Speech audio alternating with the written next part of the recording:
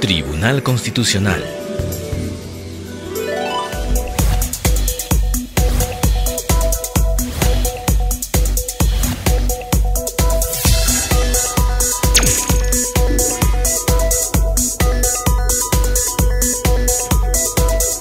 Bienvenidos a la edición del lunes 19 de mayo de 2014 de su noticiero TC al Día, programa producido por el Tribunal Constitucional. A continuación les dejamos con nuestros titulares. Meritocracia en la carrera magisterial es constitucional.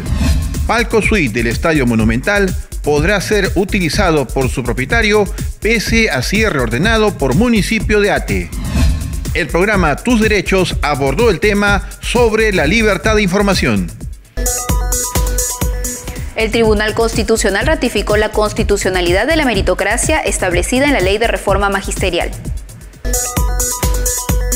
El Tribunal Constitucional desestimó la demanda de inconstitucionalidad interpuesta por 33 congresistas contra diversos artículos de la Ley de Reforma Magisterial, en la que se cuestionaba básicamente la migración de los docentes de la Ley de Profesorado hacia las nuevas escalas magisteriales, alegando principalmente la reducción de su remuneración. El TC, luego de desarrollar el contenido del derecho a la remuneración, concluyó que este, como todo derecho, es susceptible de ser restringido y que en el caso de una reducción de la misma, ésta debe estar regida por los criterios de excepcionalidad y razonabilidad. Más allá de este criterio general, la ley de reforma magisterial no señala el monto remunerativo mensual de los profesores, pero sí concede posibilidades de promoción ordinarias como extraordinarias. Asimismo, el fallo sostiene que la migración de los profesores de la ley número 24.029 a las primeras escalas de la Ley 29.944 no supone la violación de la dignidad de los profesores, pues lo que hace la ley impugnada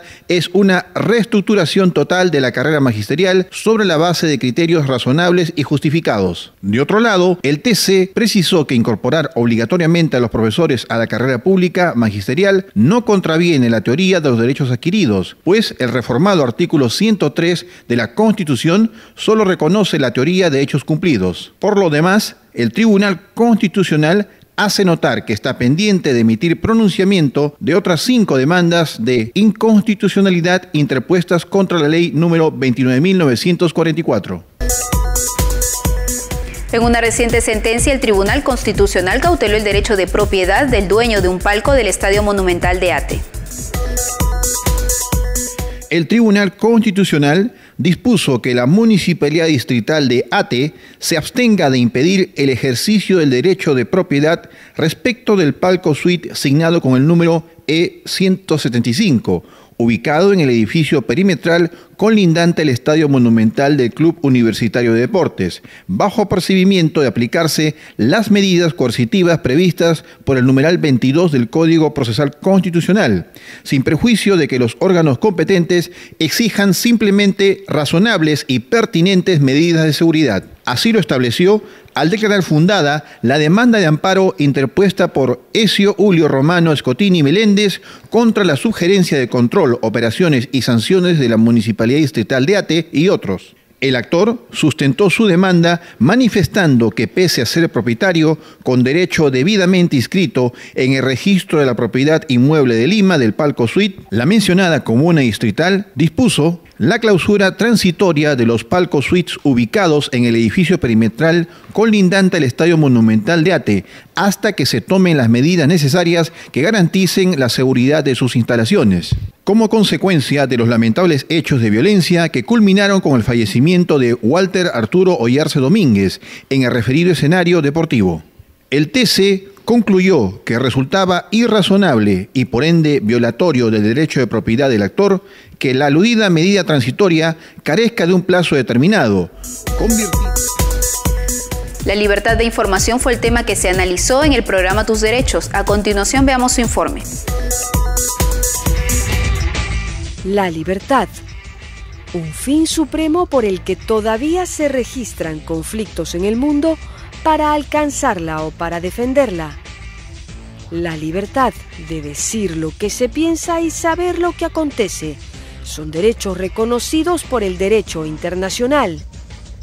La libertad de información es una extensión de la libertad de expresión, un derecho humano fundamental que se estima en nuestra Constitución en el artículo 2 y refiere que toda persona tiene derecho a las libertades de información, opinión, expresión y difusión del pensamiento mediante la palabra oral o escrita o la imagen por cualquier medio de comunicación social sin previa autorización ni censura ni impedimento alguno bajo las responsabilidades de ley. La libertad de información es el mayor recurso con el que cuenta la prensa para realizar su trabajo. Trabajo que continúa y seguirá en tanto se brinden las garantías para el mismo, ejerciendo una labor fiscalizadora que sume al orden democrático y a la lucha contra la corrupción. Sin embargo, los límites de la libertad de información muchas veces pierden líneas de frontera cuando se cuelan intereses que obedecen a motivaciones ajenas al fin original. Motivaciones a las que se prestan malos profesionales de la palabra, la imagen o la voz y acaban distorsionando el propósito de todo, la verdad. En ese sentido, la libertad de información está estrechamente ligada al derecho a la privacidad, reconocido también como un derecho humano que le recuerda la libertad de información que no es absoluta y que solo existen excepciones previstas en la ley si se trata de hechos o personas de relevancia pública. De hecho, la distinción entre información y expresión se basa en la naturaleza de lo que se comunica.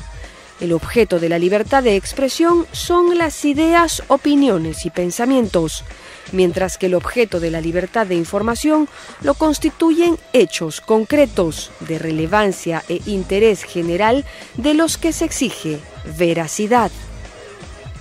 Siguiendo esos criterios, la jurisprudencia del Tribunal Constitucional le recuerda a un ciudadano que interpuso un recurso de amparo contra el semanario El Búho de Arequipa que en temas de interés público prima la libertad de información.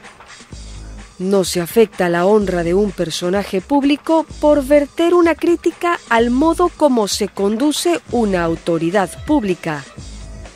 Interpreta así el máximo organismo constitucional, apuntalando este derecho herramienta de la prensa y que debe quedar en consideración para el ejercicio de la labor informativa.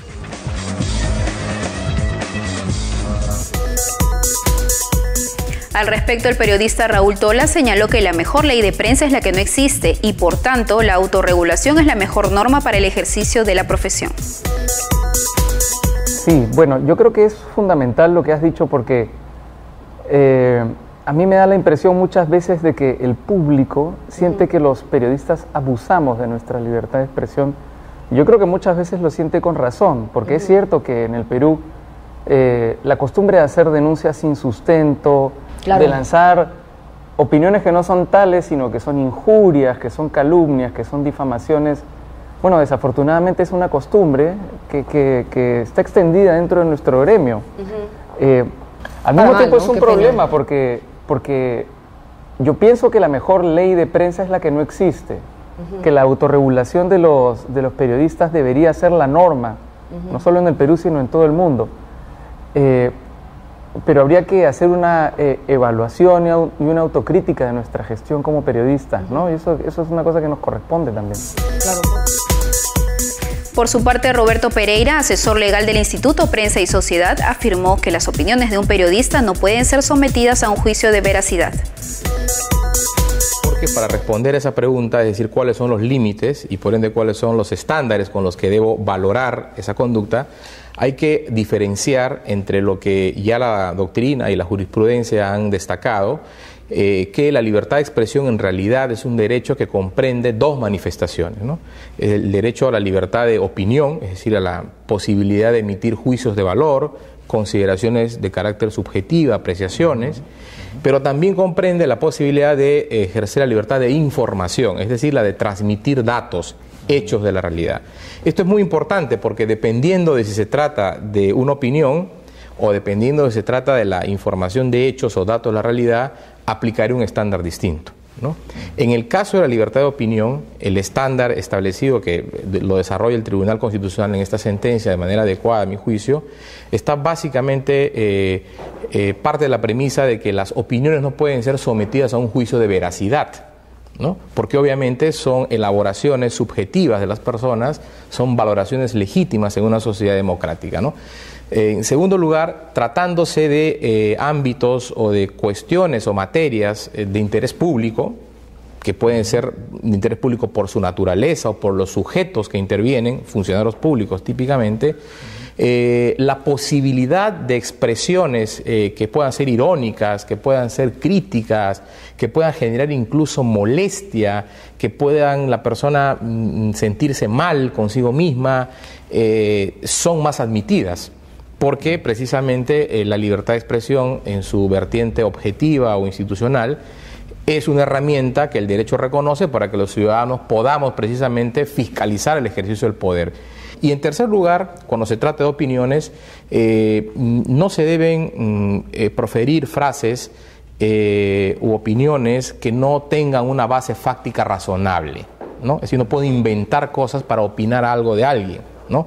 Eh, por ende, tiene que haber una cierta lógica de razonabilidad y proporcionalidad entre lo que yo estoy opinando ¿no? y, la materia de la cual, respecto a la cual yo estoy opinando. No puedo decir yo que un funcionario es corrupto porque me parece, ¿no? Si, es que no parto de una base fáctica eh, legítima de crítica. En una visita al Tribunal Constitucional, el presidente de la Comisión Interamericana de Derechos Humanos, José de Jesús Orozco Enríquez, nos dio las siguientes declaraciones.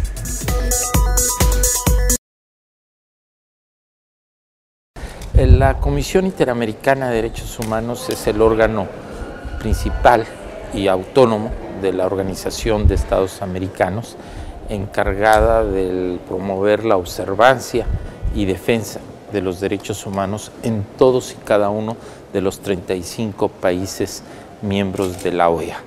Es importante tener en cuenta pues que si bien los países que han ratificado, adherido a la Convención Americana sobre Derechos Humanos en la actualidad son 23 y los que han reconocido la jurisdicción de la Corte Interamericana son 20. Sin embargo, el mandato de la Comisión Interamericana de Derechos Humanos es respecto de los 35 miembros de la OEA, toda vez que eh, al ser órgano principal de la OEA, cuyo mandato proviene de la Carta de la Organización de Estados Americanos, el artículo 106, así como del Estatuto de la Comisión Interamericana de Derechos Humanos aprobado por la Asamblea General de la OEA, entonces la Comisión, reitero, tiene una competencia sobre todos y cada uno de los 35 países miembros en los cuales ejerce y promueve el respeto de los derechos humanos, pero también eh, eh, eh, conoce de peticiones que por presuntas violaciones a los derechos humanos puede presentar cualquier habitante de América o algún grupo de personas a nombre de quien haya sido presunta víctima de alguna violación de derechos humanos. La Comisión Interamericana tiene entonces, por un lado, una labor de monitoreo sobre la situación de los derechos humanos, reitero, en todos y cada uno de los países miembros de la OEA, y por otro lado, conoce de peticiones y casos. Entonces es eh, particularmente en la década de los 90, la Comisión Interamericana tiene, eh, fue creada en 1960 y a la fecha pues tiene más de 60 años, pero eh, los primeros 30 eh, años se caracterizó por más su función de monitoreo sobre la situación de los derechos humanos, lo cual sigue ejerciendo en la actualidad, pero a partir de la década de los 90, lo que ya empezó a, incrementarse son las peticiones y casos individuales por presuntas violaciones a los derechos humanos. y eh, esto eh, que eh, hacia el año de 1996 empezaron a, a, presentarse un mayor número de peticiones, estas se han incrementado exponencialmente y sin embargo los recursos asignados a la Comisión Interamericana, recursos financieros, lo cual se traduce en recursos humanos, estos no se han incrementado por parte de la OEA. ¿Qué es lo que ha propiciado? Que entonces empiece a crearse un rezago en la atención o un atraso procesal para la resolución de las peticiones y casos individuales. Es uno de los principales desafíos que tiene la Convención la Comisión Interamericana eh, precisamente en nuestro eh, reciente periodo de sesiones estuvo eh, deliberando la Comisión Interamericana en cuanto a diseñar una reorganización de los trabajos y también utilizar mecanismos procesales para ah, reducir el atraso procesal en el entendido de que también, y así lo he hecho el planteamiento la Comisión Interamericana a los a la órganos políticos de la OEA y a todos y cada uno de los Estados miembros la importancia de incrementar los recursos que se le asignan con el objeto de abatir ese, ese, ese rezago. Hay aproximadamente 2.000 peticiones ya eh, eh, individuales que cada año recibe la Comisión Interamericana, lo cual, reitero, al no incrementarse los eh, recursos financieros, empieza a generar este rezago.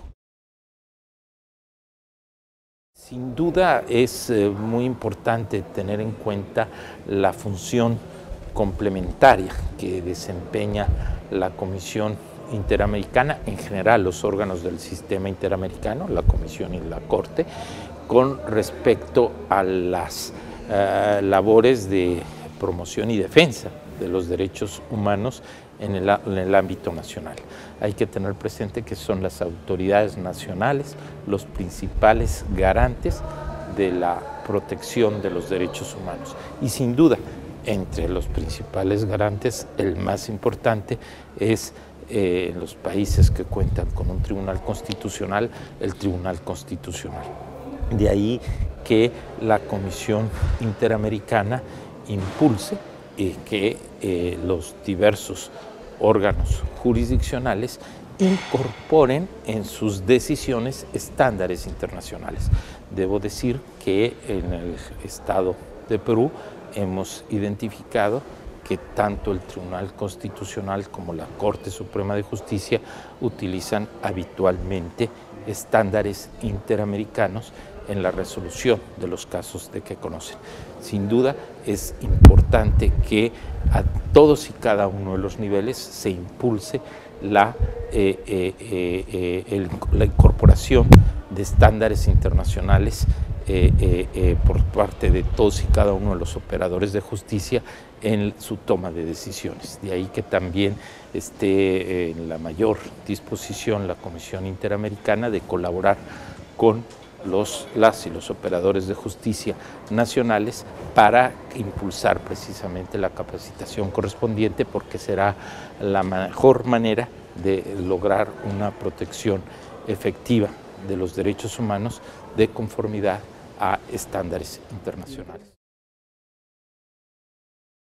Tanto la Corte Interamericana de Derechos Humanos, que como sabemos es el órgano límite, como la Comisión Interamericana de Derechos Humanos han eh, órganos competentes de la interpretación de los instrumentos interamericanos de derechos humanos han establecido una jurisprudencia que es a lo que me refiero, que establece estos estándares interamericanos sobre derechos humanos que es importante que sean conocidos por las y los operadores de justicia nacionales y los tengan en cuenta para la resolución de los asuntos de su competencia.